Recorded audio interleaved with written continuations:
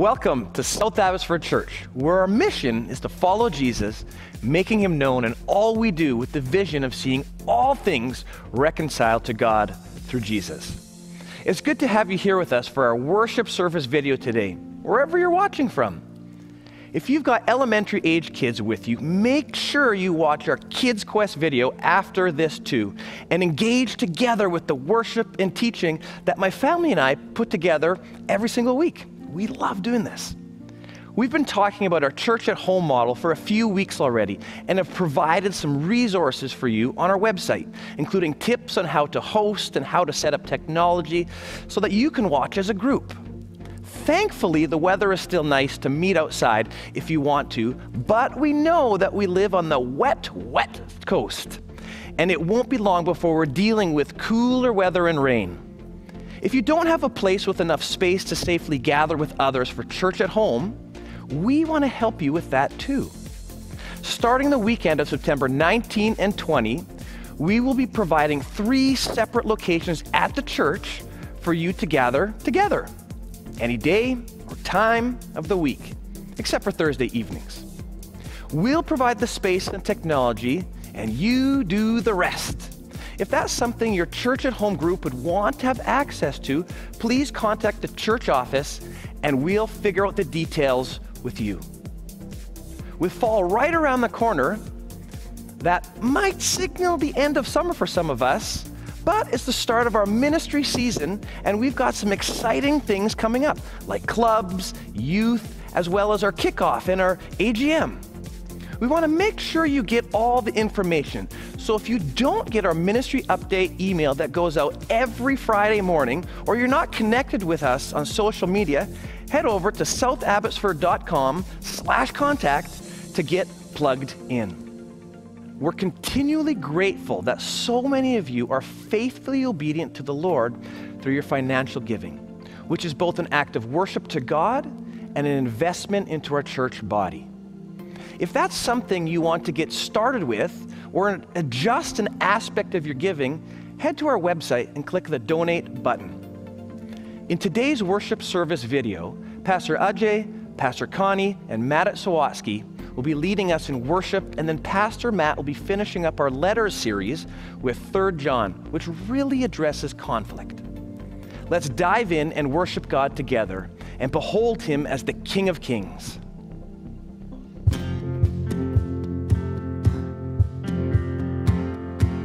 Come on, let's worship Jesus together.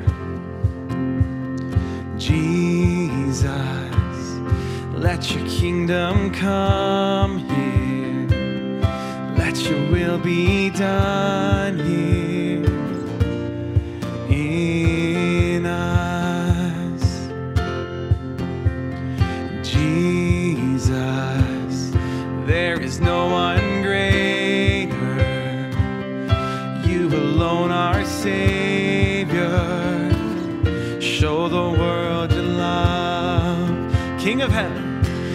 of heaven, come down.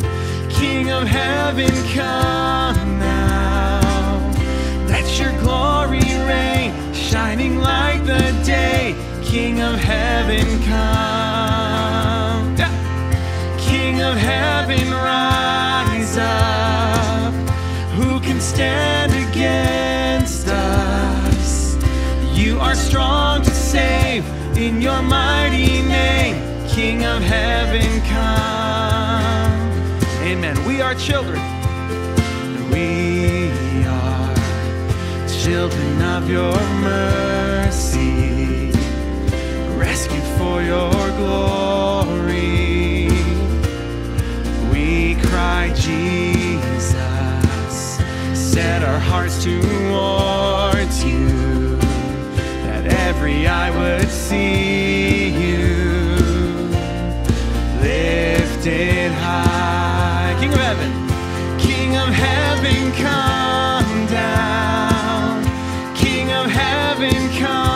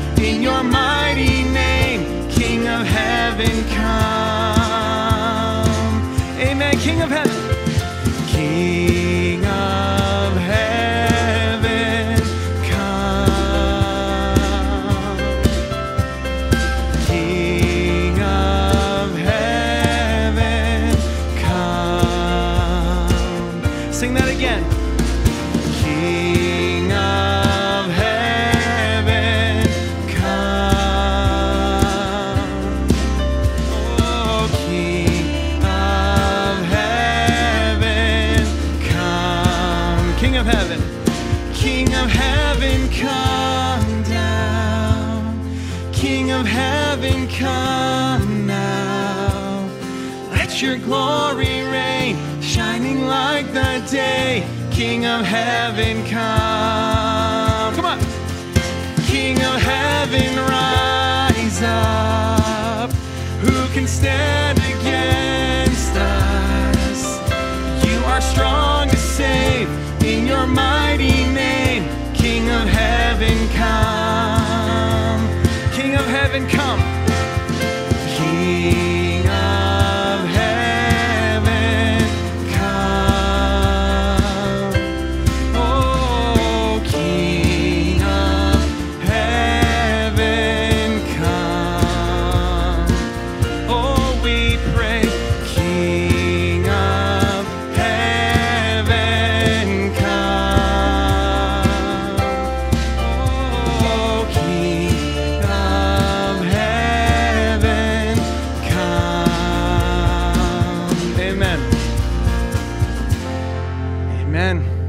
Well, isn't that our prayer? That Jesus would come on earth as it is in heaven. One of our values here at South Abbotsford is submission to Scripture. So let's take time to read Scripture together. In just a moment, a portion of Second Corinthians will be up on the screen, and I invite you to read it together out loud, reflect on these words as we continue in worship. Sing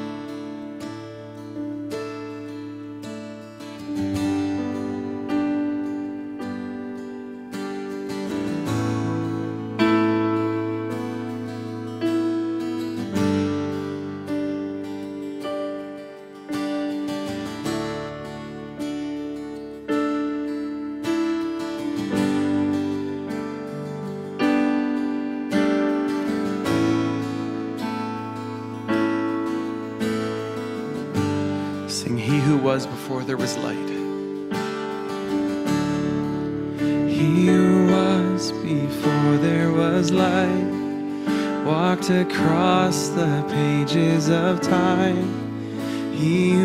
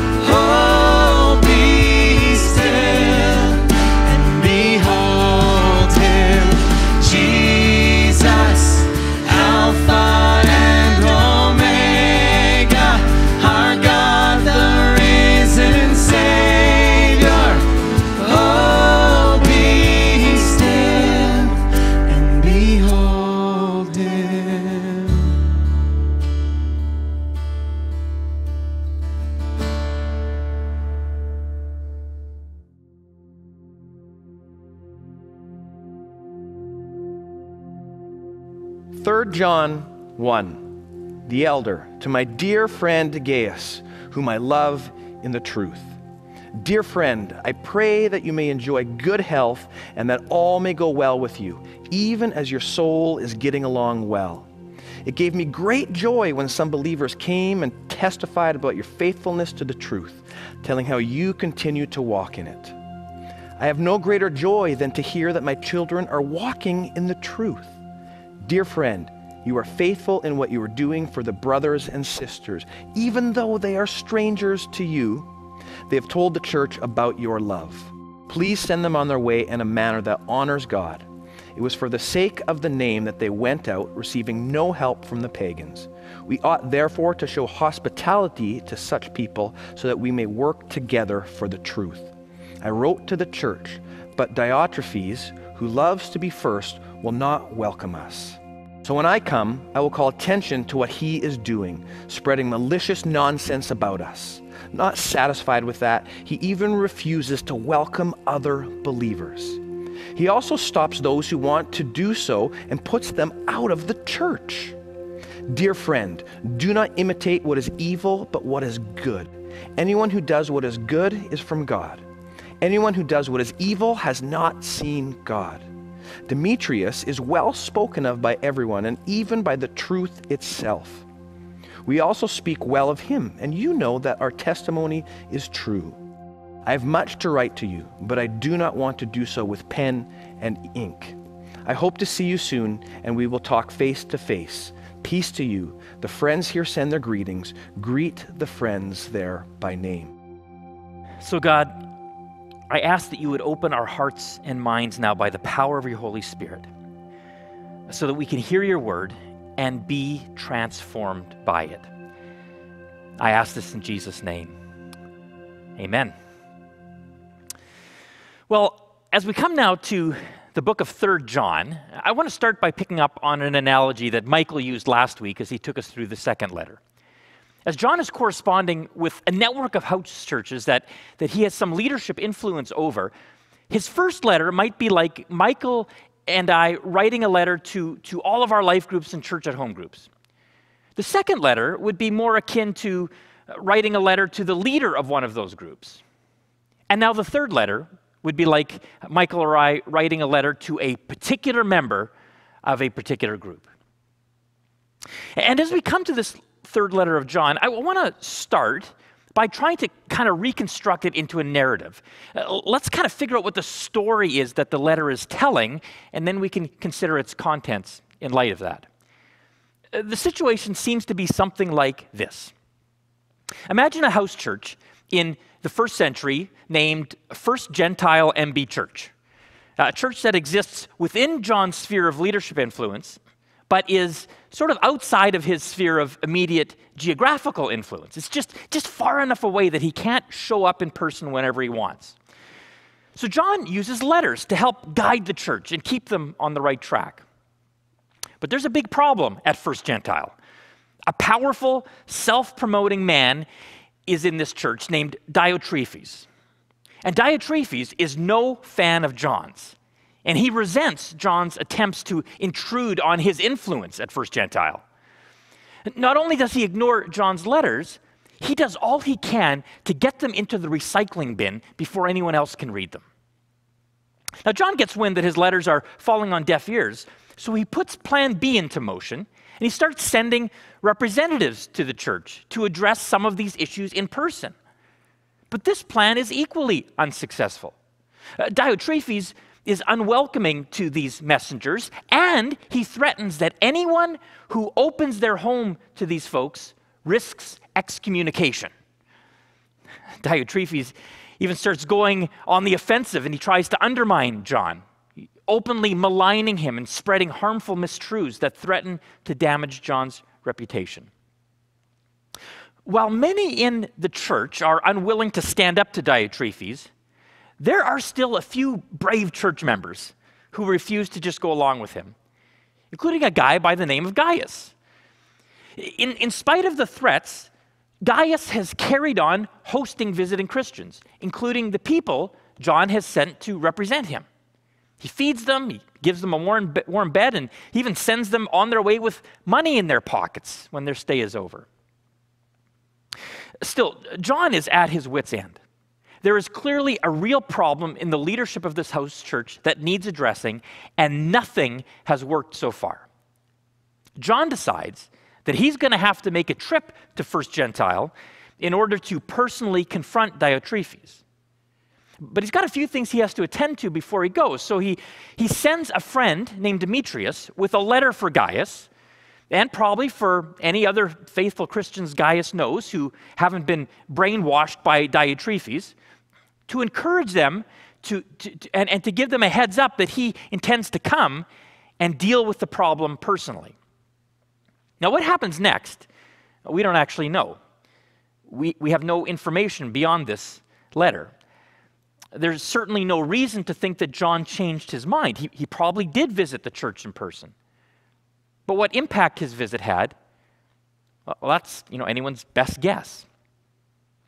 Still, we don't need to know how things turned out in order to learn a few things from this letter.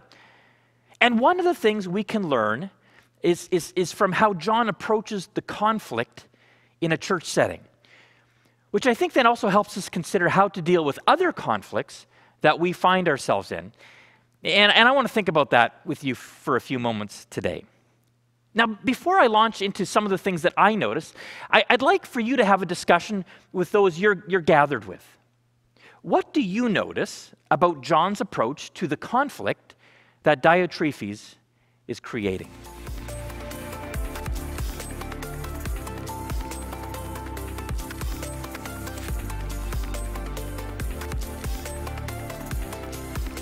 All right, well, the thing that jumps out to me about how John approaches this situation is his persistence.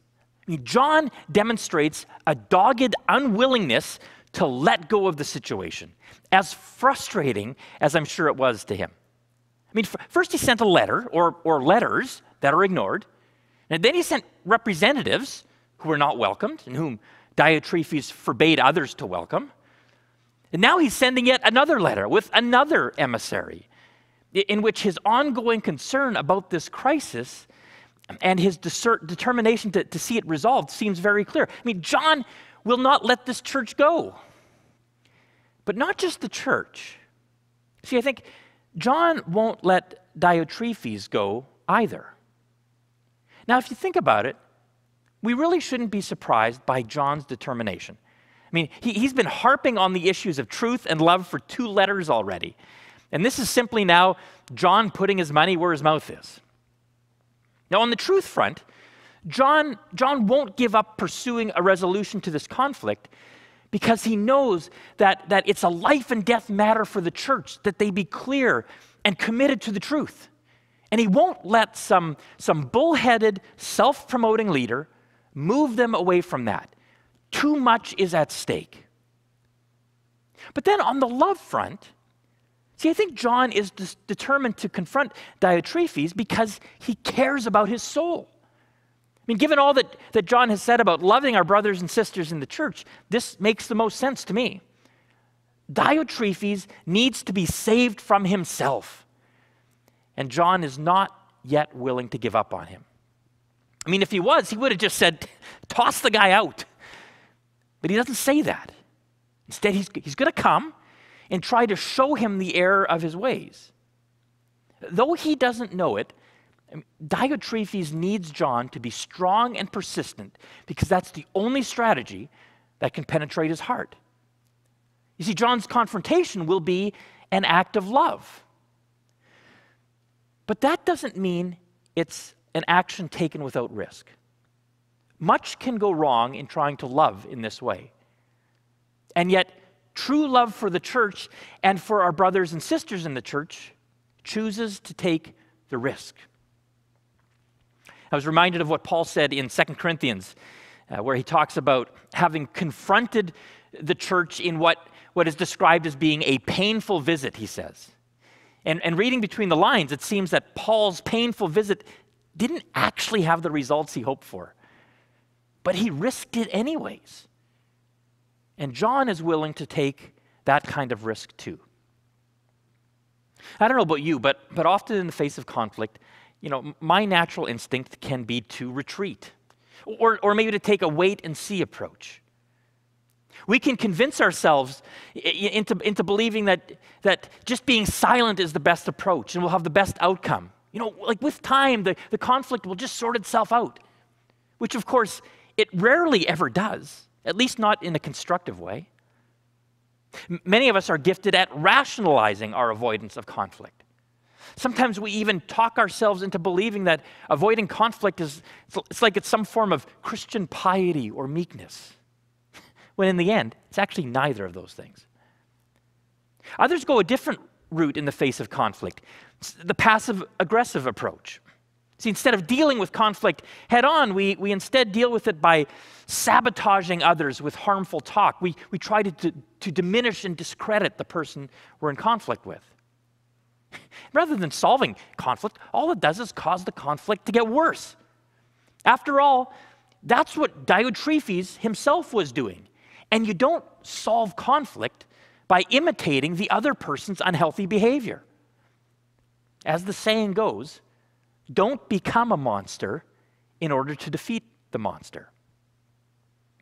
Now, before we go on, why don't you talk with those you're gathered with about why people often try to go around conflict or, or deal with it indirectly instead of just facing conflict head on?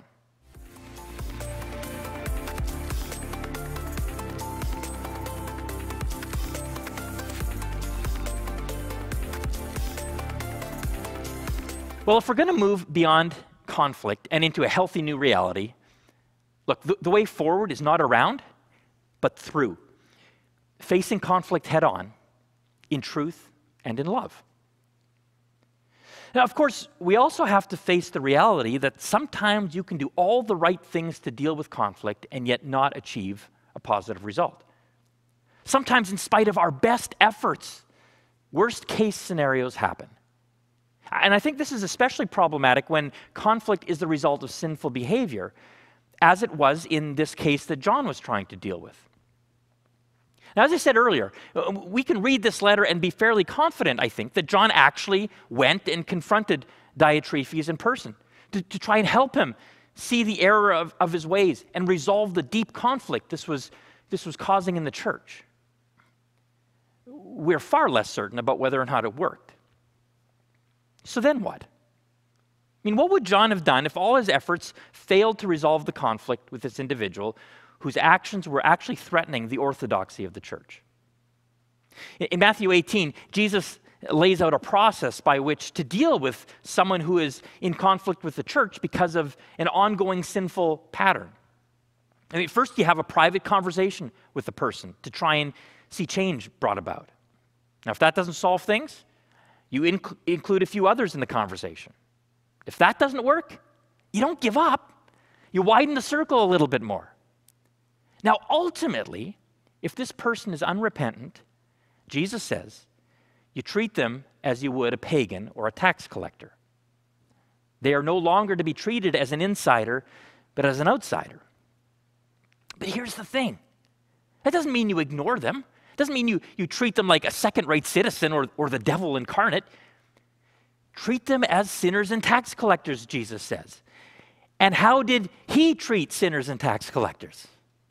He ate with them, he invested in them, he loved them with the goal of seeing them change their behavior in order to be able to be in harmony and right relationship with the community of his followers once again.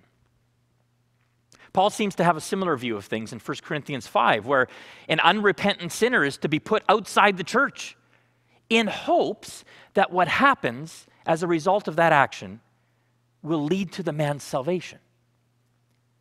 See, given this pattern, I have no doubt that had Diotrephes not responded to John's in person attempt to, to help him recognize his sin and bring an end to the conflict his sin was causing, you know, after, after already having written a letter, after already having sent representatives, I'm sure John would have had Diotrephes removed from the community of the church.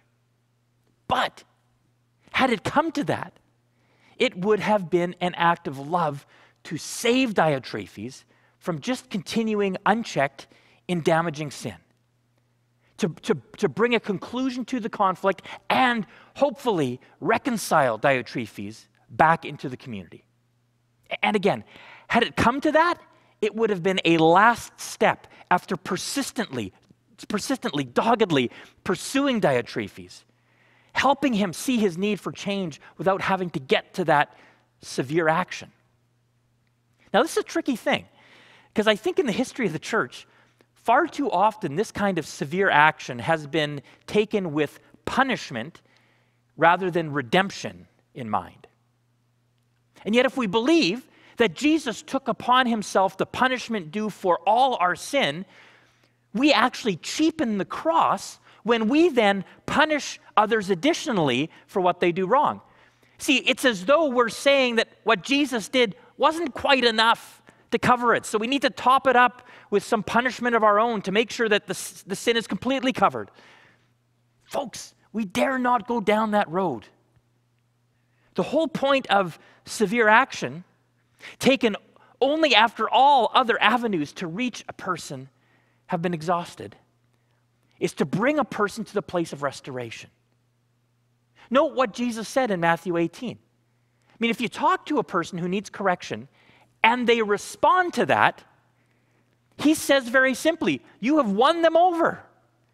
See, it's not that, you know, well, if they repent early, you can like reduce their sentence or inflict less severe, punishment on them. No, they've changed, they've been restored. Punishment would be inappropriate now. Now, I recognize that in this day and age, we don't seem to have much stomach, you know, for this kind of action that Jesus and Paul call for. And again, maybe that's because we've seen how poorly it's been done in the past. But I wonder if in doing so, maybe we've thrown out the baby with the bathwater. See, it's not that we should never take corrective action when there is conflict in the church that results from sin. It's just that it must truly be done out of love and concern for the person who stubbornly won't repent after all other attempts to get through to them fail. It must not be punishment that masquerades as love not a personal vendetta clothed in spiritual lingo. If we ever act punitively against another believer, we are in the wrong, plain and simple. Once repentance is achieved, restoration and reconciliation are in order. I think one of the challenges uh, we have in actually, you know, dealing with conflict instead of just avoiding it is that we're a society saturated with churches. See, an easy option for not dealing with conflict that arises in the church is that we can just opt to go to the church down the road instead of remaining in the one where we're experiencing conflict. You might find that option particularly appealing if that conflict has to do with the church trying to, in love, point out sin that you need to turn from. You don't actually need to deal with it. You can just leave and find another church to slip into the back door of. But when the church was just starting out, that wasn't really an option. I mean, you, you might have lived in a city where there was only one church represented, in which case you had no options. You had to deal with the conflict head on, or, or you had to, to leave the church entirely. That's a far less convenient reality, but a far healthier one, I would suggest, when it comes to dealing with instead of avoiding conflict. Now, we've talked a lot about conflict in a church setting simply because, well, that's the situation in our text today. But I think that what we see in John's actions is also a great example for any other kind of conflict that, that we experience. We need to become more courageous in walking towards conflict instead of walking away from it. And we need to be committed to doing that in a search for truth and in a posture of love. One more thing I, sh- I should say. Uh, we've talked a lot about conflict that's caused by sin, again, because that's the situation in our text today. But it raises the question is all conflict sin? Or can there be conflict that isn't sin? I, I'd simply say this. I think we can indeed find ourselves in conflict that isn't necessarily the result of specific sin on the part of, of, of one of the parties involved in the conflict. But I also think it's the case that unresolved conflict leads to sin because over time, it almost always results in us failing to love our brothers and sisters in Christ with whom we're in conflict with in the way God asks us to. Now, it, it takes work by both parties to properly resolve conflict. So there are going to be situations in which, in spite of your best efforts, another person sabotages the process by their refusal to engage in action meant to bring about resolution. In which case, I think you know, Paul's words in Romans come to mind for me. As far as it depends on you, live at peace with everyone. Eh, see, that kind of situation, I mean, you can't carry as your burden. You've done your best. But, but that aside, here's what I'd say my rule of thumb is for what it's worth ongoing sin leads to conflict. Conflict left unresolved, leads to sin. Well, here's what I hope you take away from today the real crisis of conflict isn't actually conflict itself, but our unwillingness to walk towards it and to do our best in the power of Jesus to resolve it. That doesn't mean charging in like a bull in a china shop. The goal of conflict resolution isn't to win, it's to love enough not to let sin or even just differences of opinion derail us from truth and erode our relationship and our witness. Who do you need to reach out to today? What is that situation of conflict that you're, you're hoping will just go away if you ignore it long enough? Make the phone call, send the text, fire off the email. Ask God for the courage to take a step in the direction of walking towards that person in truth and love. And I, I, I, can't promise you a perfect outcome every time. I can't tell you that taking that action is without risk. But I can guarantee you that you will bring a smile to the face of your Father in heaven. Because in walking towards conflict, you are joining in His work to reconcile all things and all people to himself through Jesus. Let's pray together.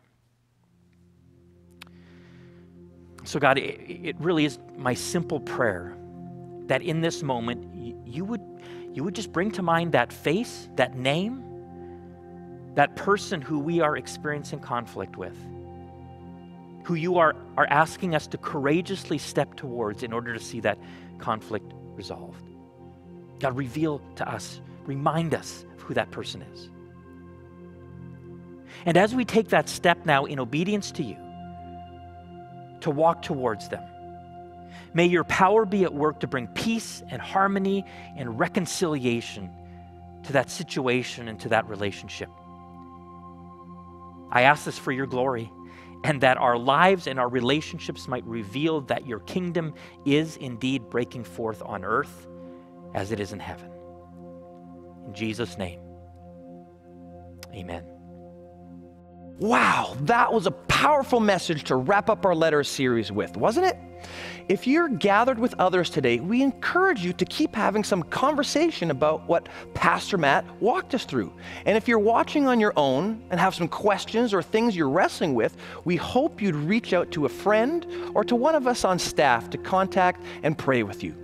Our hope is that the worship and word this week have been a source of light on the path of following Jesus, and that together we will continue to move closer to Jesus. As we close today's worship service video and our summer sermon series letters, we want to worship along with all of Canada as we sing our nation's version of The Blessing. God bless you, and we'll see you again next week.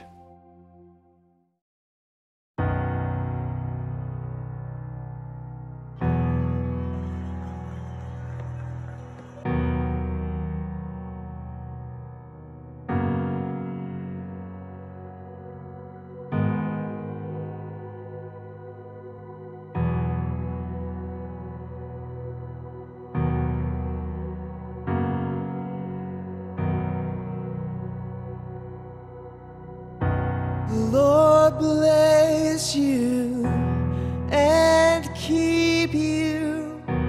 Make his face shine upon you and be gracious to you. Lord turn his face towards you.